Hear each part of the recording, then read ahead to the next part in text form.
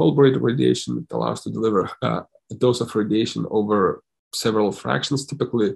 Uh, so two, so it's two gray per fraction, and we can fractionate that, that over uh, you know 10 fractions or more, depending on patient's functional status. And uh, practically, it's now more commonly reserved for patients who have multiple brain metastases, tiny lesions, but just too much for for uh, for SRS, and also for those with poor functional status. Uh, uh, patients who have poor prognosis, just ensure their uh, control of intracranial disease rather than go for curative approaches.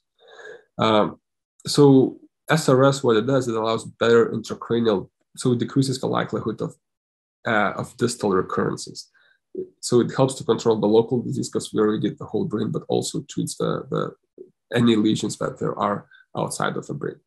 What's a problem with that is that uh, we treat lesion target, but we also irradiate the whole brain in healthy brain tissue. And that can cause important uh, adverse events for patients, such as cognitive function deterioration, uh, uh, decrease of quality of life. And this can be very important for patients who have cancer with, with good prognosis, such as, for example, differentiated thyroid cancer. So memantine and hippocampal avo- uh, avoidance are now uh, also used with radiation, whole brain radiation therapy to decrease the likelihood of this, uh, of this.